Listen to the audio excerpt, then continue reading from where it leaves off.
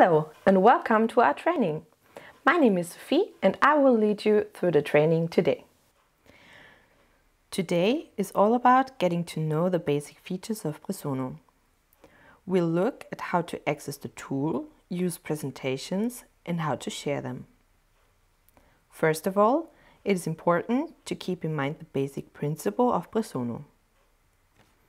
Presono is based on the so-called single source principle. This means that each content exists only once, but can be reused as often as needed.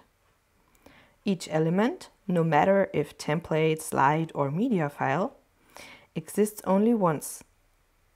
If the element is used, it is only a link and can therefore be updated very easily. So when a slide is updated, it is automatically updated in all presentations in which it appears. The same applies to images, videos and templates. In this way, all users will always have the latest version. Presentations in presono also consist of different slides that can be compiled or linked to each other. The slides are based on templates, template sets, that define the design framework and the appearance. Presentations can be clicked through linearly, operated interactively, or used by a combination of both ways. The path of a presentation is saved as a so-called session and is an image of your held presentation. Presentations and sessions can be exported as PDF or shared as a web link. In addition, you can even analyze who has viewed which content via the sent link. Presono can be used in the browser or as an app on PCs, tablets and smartphones. With the apps, it is also possible to work and present offline. The access is done in the browser or the app via my.presono.com or the company's own presono login. After logging in, you will be redirected to the dashboard.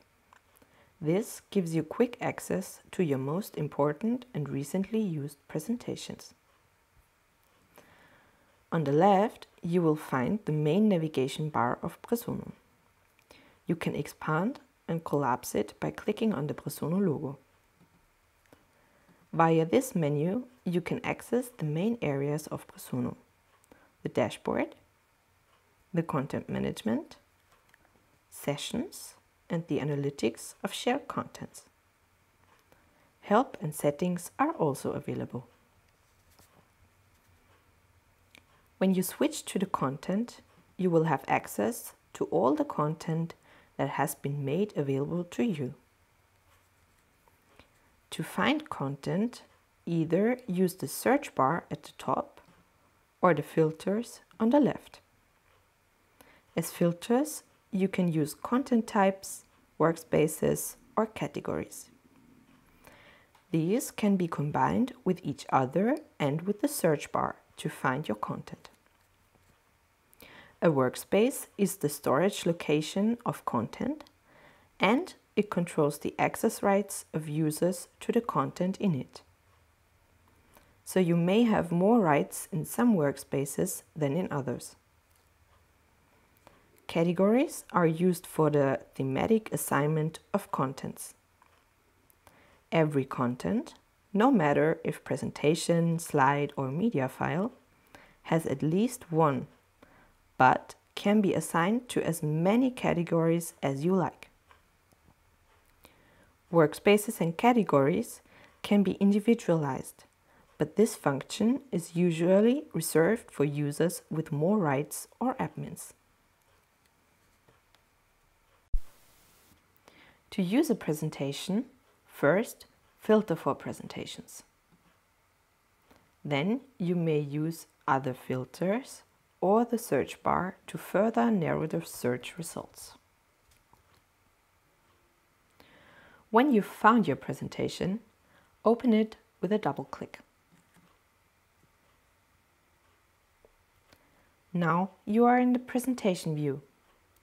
On the left, all slides that are directly included in the presentation are visible.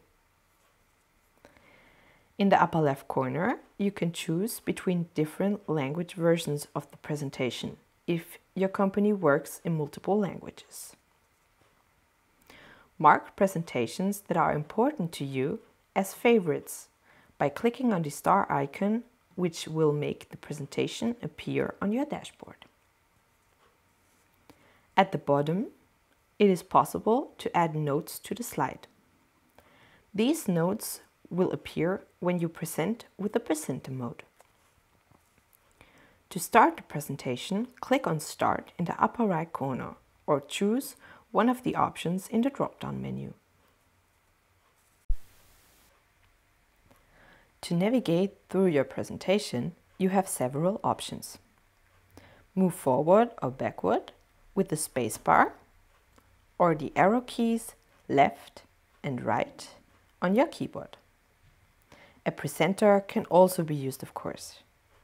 On a touch device, use swipe gestures.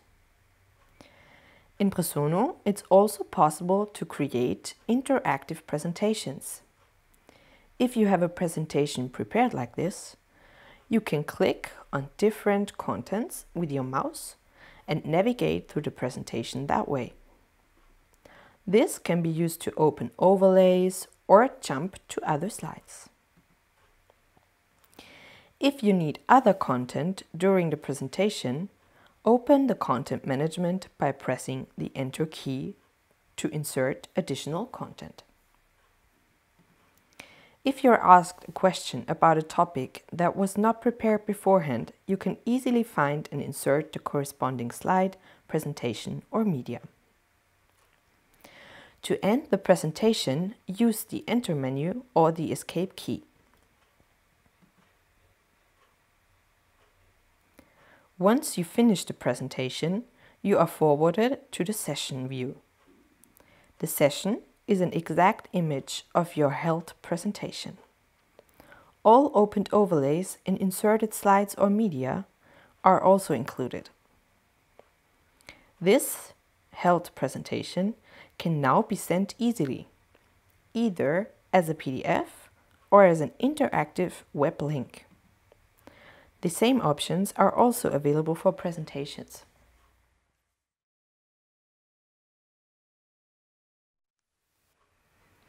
The overview of all sessions is always accessible via the main menu on the left.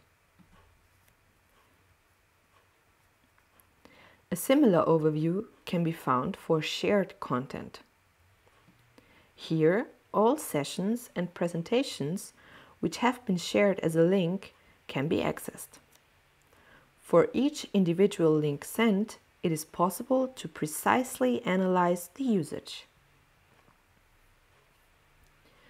To sum it up, we've looked together at how to navigate through the tool, find, show and send a presentation. Now we've reached the end of our training today. In our YouTube channel you will find more training videos. If you have any further questions, um, visit our knowledge base. In there you can also register for our Q&A webinars. And now have fun!